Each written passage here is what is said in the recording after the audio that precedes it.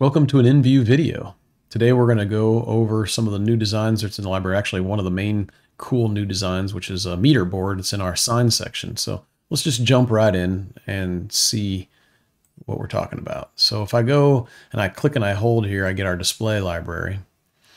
And uh, from here, I can go in and you can see there's all kinds of resizable counter displays. Um, you know, we have tons of boxes, different displays. There's all kinds of um, floor displays. You'll see just everything's resizable. It's all parametric. We have over 2,500 resizable boxes, designs, and displays. But let's go down in this new section where we've been expanding some of the um, signs that you'll see here. And so there's a lot of different signs that um, you can bring in and adjust. And so if we look at this meter board um, and we go look at the 3D real quick, you'll see that there's two different materials. This could be sign foam or some other corrugated material. And then you've got like a uh, regular corrugated base, nor normally out of E-flute. So let's just unfold it real quick and um, you can see how it goes together. We play back through it and there's how it folds up. So let's just go ahead and open that up in EngView. And in here, you're going to see that we've got the footer, the body, you know, here's our 3D of it. What we want to do real quick is just drop over, go to our properties and make sure that each of these use their own material. So uh, we don't use the same material for each drawing, but we want to use our own material. And let's just start kind of resizing this real quick. So if we look at uh, this here, we're going to make that for our sign. We want that to be like 30 inches by 60 inches tall. So what do we have now? We refresh that and zoom out. Now you can see that we've got a much bigger uh, board, but you know, the, the base is probably a little bit skinny to support that. So let's come back to our footer. Notice it's already gotten wider. Let's change the uh, width on it. So let's make that to like, um, I don't know, we'll say 18 inches and then uh, take a quick look. You know, so okay, great. It's a lot wider, but not really tall enough. So let's take the foot and let's change that up to six inches. All right, so we'll refresh.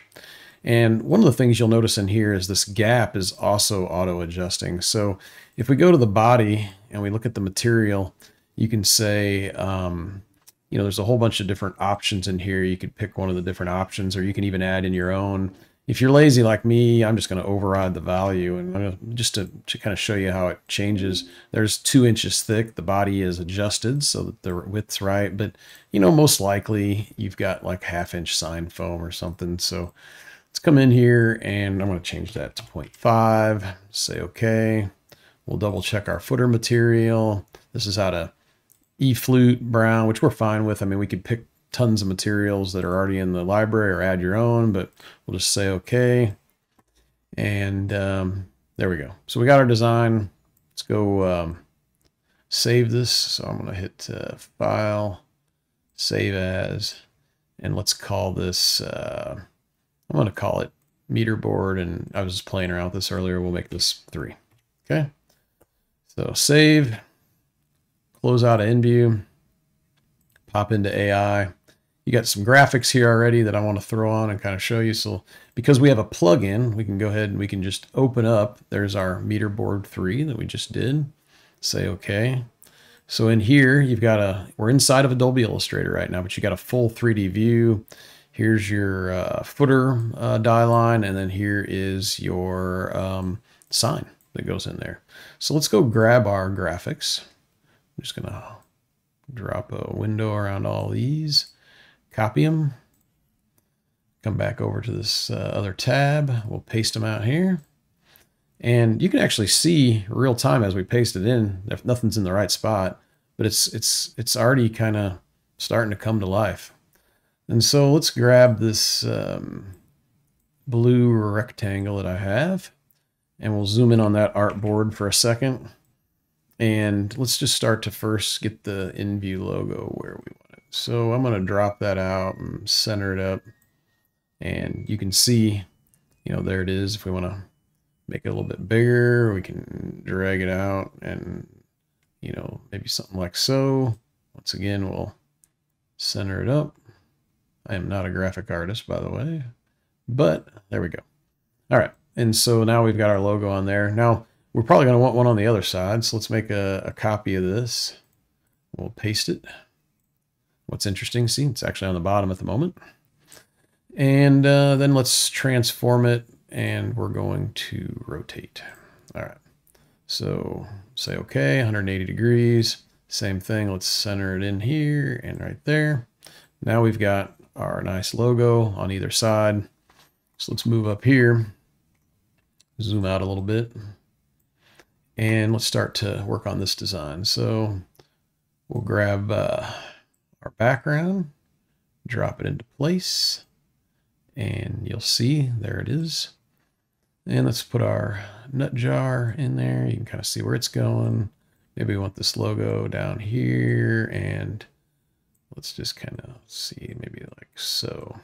So as we're working in real time, we can see it in 3D. Now we want some graphics on the uh, backside too. So we'll, I'm going to move this down so you can see it. My video is probably in the way.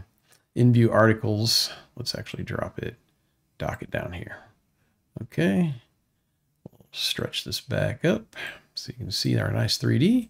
And so on the article here, let's take this body and let's make a new artboard. Say okay. Now let's go back and look at our 3D and we can start to now work on this other side. So let's make a copy of this guy. Copy, and we'll paste it over here. And now you'll be able to see there's our other side. We'll zoom in on this artboard, make sure we got everything where we want. It's looking pretty good. So now you've got a nice two-sided meter board sign. And if you save this as an AI file, all the smarts and everything stay with it. Also, you can actually link over and edit in Package Designer in case you wanted to make some other changes. So now if we go back into Package Designer, you can see that we're in here. Everything's still resizable. You can turn on and off whether you want to show your uh, images or not. And we could create a nest. We could do bleed offsets, all that kind of fun stuff. But um, in this kind of case, we're just going to go drop back into uh, AI. Last thing we might want to do is we have our shared space. So let's just drop this up in shared space. So we'll say um, meter, oops, meter board nut sign. And when I hit upload, I could set some other settings. I can do the resolution, these kind of things. But um, this will go into the Amazon uh, Web Services. Uh, you get space with your subscription up there. And when we click on this, this will open up and you'll notice that we're in a browser right now. And so you get some space in here and you can see here is your uh, sign. So let's go ahead and uh, just play through it real quick so we can see how it's going to fold up.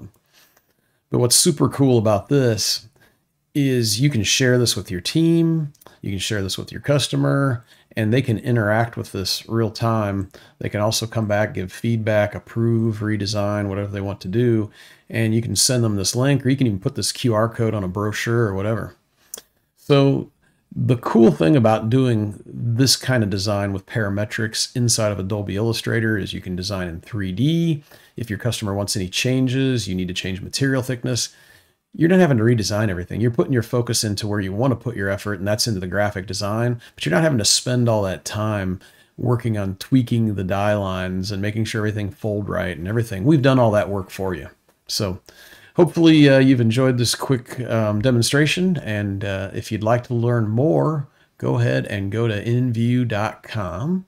So if you, uh, let's go where we're at here, engview.com you go to um, our EngView suite, and uh, if you come in here like to our subscription center or uh, multiple places, you can come in here and request a 10-day trial. When you click on one of these 10-day trial buttons and you fill out this form, somebody like myself will get a hold of you and uh, we'll help you learn more. You can get a test drive of the software and we'd be happy to get you up and running. So thanks for taking time to watch this video.